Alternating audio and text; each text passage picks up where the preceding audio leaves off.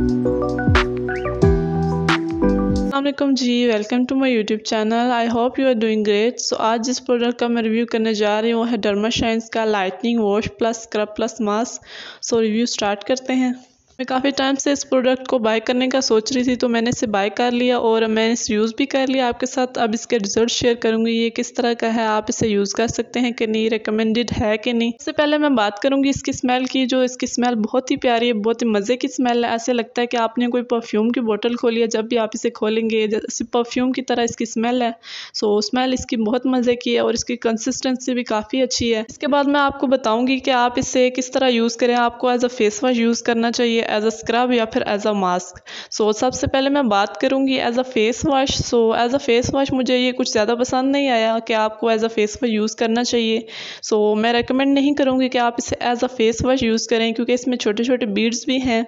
जब आप तो आपको वो नज़र नहीं आएँगे जब आप इसे यूज़ करेंगे स्किन पर एज अ फेस वॉश आप इसे रब करेंगे और आपको फील होगा कि आप इसमें बीड्स भी हैं. So I don't like this as a face wash इसके बाद बात की जाए आप इसे एज अ स्क्रब यूज़ कर सकते हैं कि नहीं? सो मैंने आपको बताया था कि इसमें छोटे छोटे बीड्स हैं जो कि शायद आपको दिखे नहीं। जब आप स्किन पे यूज़ करेंगे तो आपको नज़र आएँगे। मैं आपको दिखा रही हूँ। आई डोंट नो आपको नज़र आ रहे हैं कि नहीं। इसमें हैं बीड्स सो आप इसे अगर स्किन पर जब भी यूज़ करेंगे तो आपको फील होंगे।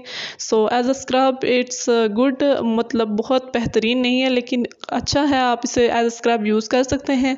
So third is as a mask so as a mask भी मैं इसे यूज़ कर चुकी हूँ। एज अ मास्क भी मुझे इसके रिज़ल्ट कोई अच्छे नहीं लगे, क्योंकि जब भी मैंने इसे स्किन पर यूज़ किया और इसे यूज़ करने के बाद फेस वॉश किया तो मेरी स्किन काफ़ी डल डल फील हो रही थी और स्किन पर कोई ज़्यादा ग्लो नहीं था, ना ही स्किन सॉफ्ट फील हो रही थी, बिल्कुल रफ रफ स्किन फील हो रही थी।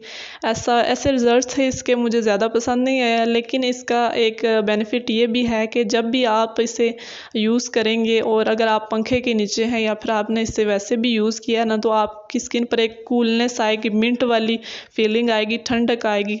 सो एक जस्ट मैं कह सकती हूँ कि इसका ये एक बेनिफिट है, लेकिन इसके अलावा मुझे ज़्यादा कोई पसंद नहीं आया। एज अ स्क्रब भी ये ठीक ठाक है, और एज अ मास्क भी कोई ज़्यादा मुझे अच्छा नहीं लगा। सो मेरी तरफ़ से तो ये रिकमेंडेशन थी कि ये किस तरह का है, इसके रिज़ल्ट्स मैं आपके साथ मैंने शेयर कर दिए हैं कि ये किस तरह है। तो मेरी तरफ़ से जो रिकमेंडेशन है तो मैं आपको रिकमेंड नहीं करूँगी कि आप इसे यूज़ करें। सो अगर आप फिर भी ट्राई करना चाहते हैं तो आप ज़रूर ट्राई कर सकते हैं। आप इसे दराज से बाय कर सकते हैं मार्केट से भी बाय कर सकते हैं।